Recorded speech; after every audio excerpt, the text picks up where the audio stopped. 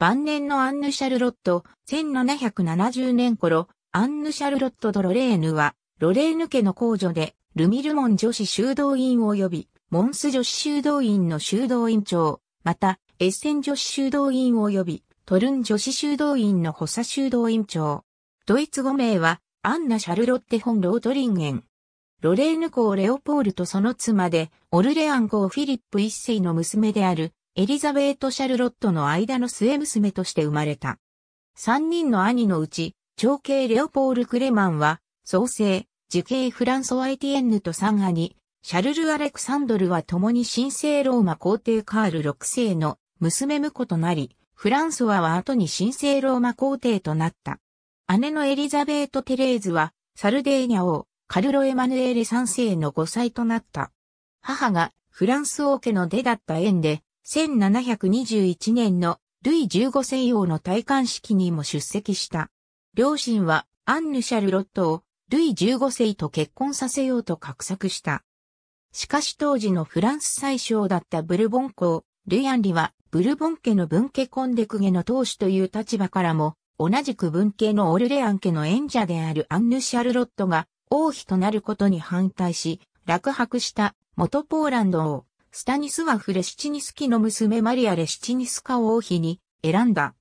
その後、いとこのオルレアン公ル一世の5歳となる縁談も持ち上がったが、相手方が再婚話を蹴ったので立ち消えた。1737年に父が死去した直後、後を継いだ受刑フランソワが、イタリア中部のトスカーナ大公国と引き換えに、ロレーヌ公国をフランスに譲渡したため、アンヌ・シャルロットは、母と一緒にコメルシーに陰性した。1738年10月、ルミルモン女子修道院の修道院長に選任された。ルミルモンの修道院長職には、ロレーヌ家の公女がつくことが多く、以前にもアンヌ・シャルロットの溶接した姉、エリザベート・シャルロットが形式的に修道院長を務めていた。1744年、母が死去すると兄の婿入り先ウィーンに移り、義手のマリア・テレジア皇后からシェーンブルン宮殿に住まいを提供された。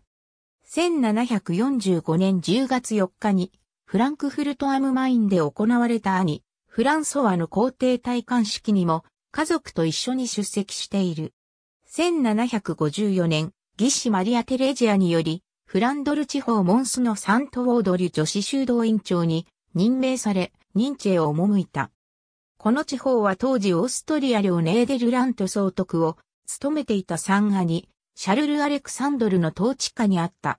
アンヌ・シャルロットは、カフのシャルルが総督を務めるブリュッセルの宮廷で女主人として振る舞った。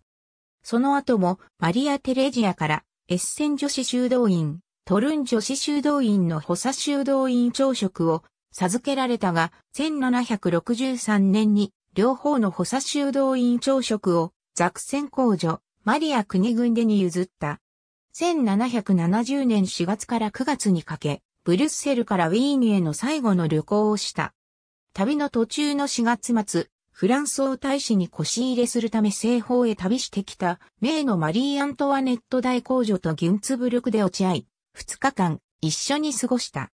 59歳で亡くなり、意外はロレーヌ家の母病であるナンシーのサンフランソワでコルディア、教会に安置された。ありがとうございます。